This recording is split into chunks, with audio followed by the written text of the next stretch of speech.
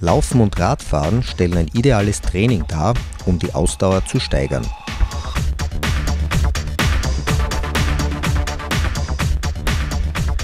Während die Radfahrer auf ihren Rädern im Grundlagen-Ausdauerbereich fahren, versuchen leistungsstarke Läufer mit den Radfahrern mitzuhalten.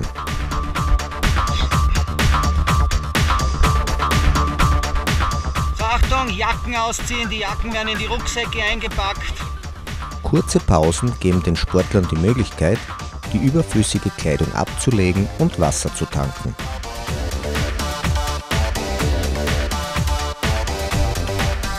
Die sorgfältig ausgewählte Radstrecke abseits von Hektik und Lärm, ohne Autoverkehr, macht das Radfahren zum Vergnügen.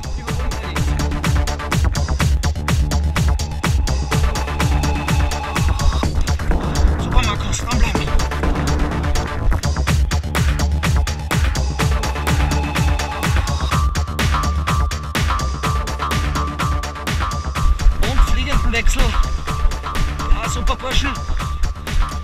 Aufpassen, genau. Kurze Zwischensprints, aber auch der schnelle Wechsel vom Laufen zum Radfahren werden geübt und sorgen dafür, dass das Training abwechslungsreich ist. Super. Im Laufen wird der Rucksack wechseln, erst wenn ich sag.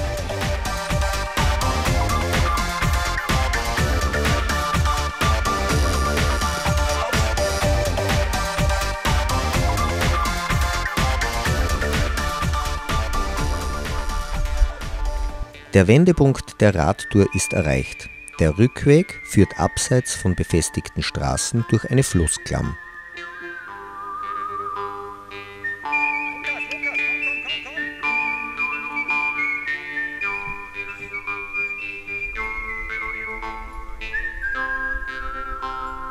Wer sein Fahrrad liebt, der schiebt. Jedes Abenteuer hat seinen Preis. An unwegsamen Stellen müssen die Räder sogar getragen werden.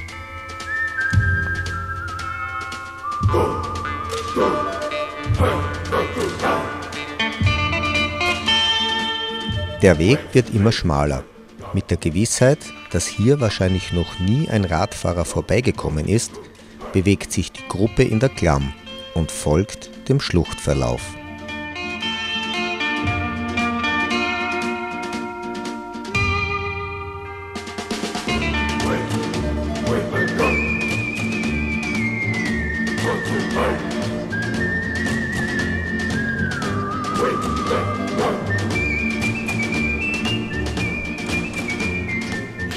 Kleine Pannen, wie das Lösen der Kette vom Kettenblatt, werden gemeinsam behoben und bestätigen die Wichtigkeit, kleine Reparaturen selbst durchführen zu können.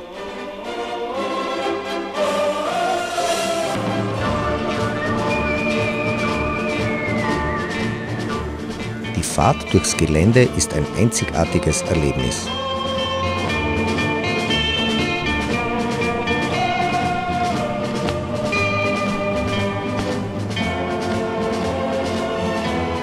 Kurze Klettersteige stellen eine Bewährungsprobe für das Abenteuerteam dar und werden mit gegenseitiger Hilfestellung bravourös gemeistert.